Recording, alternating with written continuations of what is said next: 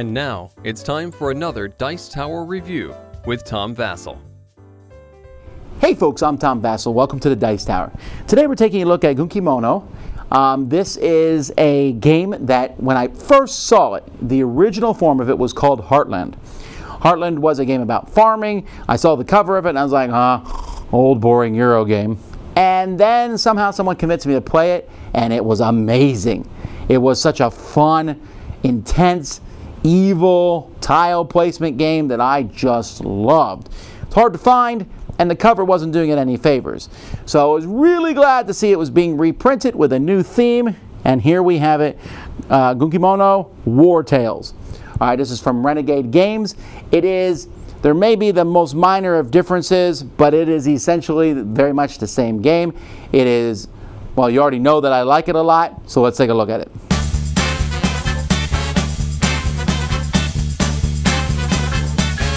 The board is going to be set up a little bit differently depending on how many players are playing. I have it set up for a four-player game, but there are pieces for a fifth-player game here. So you're going to have these strongholds are going to be at a different level depending uh, on the players that are playing. And um, you're also going to be setting up some banners here.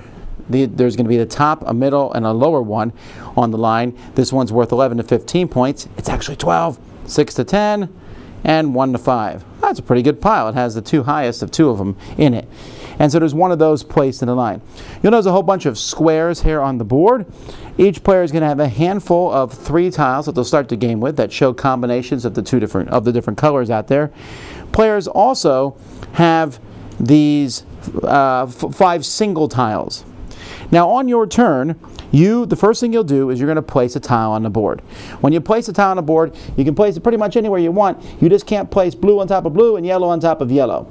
I could do the opposite, I suppose. In this case, let's say I put it right here like this. Now I can score that tile. Now when you score a tile, you can, you're going to score both sides of it. And you're going to either score victory points or honor points. Now victory points are pretty easy. Let's say for the yellow, if I score victory points, I would get one, two, three yellow. The, the group of yellow that it's connected to, that's how many victory points you get. If I did it for blue, I would get two. And you can see that as more tiles get placed in the board, later on, if I would add this tile there, you can see that I'm going to get four points or three points here, or both. Now that's one thing you can do, to just take straight points. Points are marked with the marker up here. Another thing you can do is take honor points. When you take honor points, it doesn't really matter what it's next to. You simply are going to take one or two honor points. It shows them on the tiles themselves. So one or two honor points. When you do that, you're going to move the corresponding, so let's say I'm yellow and I take two honor points of blue. I just move this up two on the blue track. Now why are you moving up these tokens on the honor track? Well, for two reasons. One, uh, the first person to get up here is going to take the top tile, which is going to be worth a certain number of points. The second person, the second tile, etc. You don't reveal these tiles until the end of the game. Also, if all of your tokens, let's say yellow manages to get all of their tokens in each column up to where their first stronghold is, then you get to place your stronghold. When you place your stronghold, you can place your stronghold pretty much anywhere you want on the map. So maybe in this case, I would place it right there. You can't place it where another stronghold is. So now this group of yellow is my stronghold. No one else will score points for them except me. Also, at the end of every turn, I score the size of that stronghold. So you can see strongholds are pretty amazing. Here I'm going to get three points every turn, but if you have the build up, you might, you know, here now I'm going to be getting six points every turn and other people are going to want to probably try to stop that. Now, there are some rules when placing tiles. You can place tiles uh, on top of other tiles to make a three-dimensional effect. You can't leave them hanging, although since you have five little one-sided tiles, you are allowed to always place one of them face down and then place something on top of it if you really want to put a tile in a specific spot. You can also, on your turn, instead of placing one of your double-sided tiles, simply play your single tile. It's only going to score you once, but it might just be what you need, and you might, again, you can score it for honor points or victory points. That's pretty much the whole game. The game is going to continue till you run out of tiles over here. You'll draw an extra tile. Every time you play a large one, you'll draw a new one. When all the tiles run out, we go to this stack here.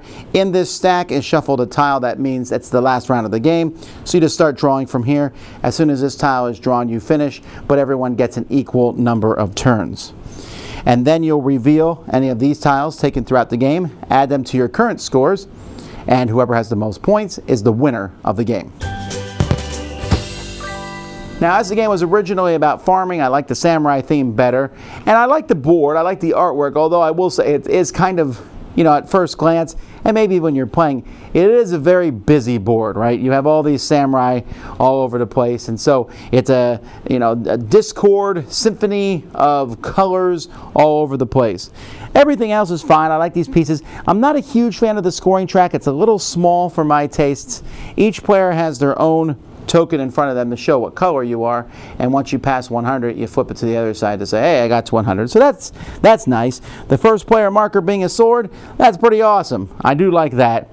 And the tiles themselves are decent tiles. They're thick, they're easy to tell, the honor points and the stuff. So other than it just looks a little cluttered, I do like how the game is presented. I like the artwork. Again, I just wish it was a little easier to see everything. So why do I like this game so much? Part of it is because the game is clean. By clean, I mean it's just simple and easy to play. You are literally playing a tile, drawing a tile, and then maybe and scoring points along the way. And that is a just, you know, you can't get easier than that. Now, the strategies and the tactics, and I would say strategies probably not a good word, tactics is the best word, as you are sitting there and you are fighting back and forth. At the beginning, it's simple. You're like, okay, there's a, I can make a group of three yellow. Hmm, well, they made a group of three yellow, I'll make a group of four. At the same time, though, as you're making these big groups, you have to be wary because you can take points or you can start pushing your honor points. Honor points is not a bad thing. If you start pushing your honor points at the beginning of the game, you will not get as many points as other players. But if you can get your stronghold on the board early, you can start getting tons and tons and tons of points. At the same time, if you run your honor points up on a few tracks and get those tiles, you can reveal these tiles and get a lot of points. In our last game, uh, two of the players got strongholds fairly early, and they got big strongholds. Now, one player got his stronghold before anyone else, and so everyone else just attacked his thing, just covered it up with tiles so it was a small stronghold. And then very similar to the second player, but they still got a lot of points along the way, and they were way ahead of everyone else. Another player, though, shot all the way up the tracks and grabbed a whole bunch of the 11 through 15 tiles and 6 through 10 tiles, and at the end of the game, they were like two points behind the leader. It was that close, and I like that this game has that in it. Now, is this game mean? Yes, sir. Meanest game, well, not meanest game I've ever played, but it's certainly a mean one because you are going to be constantly laying tiles in such a way to ruin other people's day. You're like, look at that, you have a big stronghold. I got to cut that down a little bit. I'm going to cut it in half. I'm going to surround you. And so the people with the stronghold, and you want to get both on the board, the strongholds are going to try to expand and grow as much as they can but maybe not grow too big or else everyone's going to come after you. At the same time, you get a lot of points, so who cares? Uh, it's, again, I, I can't really talk about the game too long because there's really not that many things going on in it. But it does scale very interestingly. I think three and four is the sweet spot. Five, the board's a little crowded and it's a little harder for you to, to the, the, game's going to be a little bit shorter because you just get fewer tiles over the course of the game. Two, you have a lot more tiles over the course of the game, and it's more of a back and forth situation, but it, it loses, I think, a little bit of the dynamics of playing with three and four. Either way, uh, the game itself takes maybe 45 minutes. Feels like a, it's it's obviously an abstract game. Yes, we see samurai here in the cover but there is no samurai or Japanese culture in this game at all. It's literally placing tiles. It could have been the farm game. However, the farm game didn't make sense with the fighting. Here you're having warriors and having groups of people, so that makes a little bit more sense. But again, remember, it is plain abstract. But I like the idea of laying the tiles. I like the angst of sitting there saying, what's the best way to play this? Should I take these six points here? Or maybe take two honor points in green, which moves me up closer to get to that 11 through 15 tile or take the 6 through 10 tile, which is at least 6 points, right? But it's going to take me two turns to get there. When, how fast do I want to get my stronghold out? If the other people are doing strongholds, maybe I'm just going to score a huge amount of points as the game goes by. It offers those simple, but yet profoundly difficult choices, I think and overall makes this a game that honestly if you play it you feel like this is a classic game and it really is so this is not a brand new game for 2018. It's a reprint of an older game, but it's a reprint of an older game that needed to be reprinted, I think. It's an excellent game and one I've been looking forward to for years. Definitely check it out.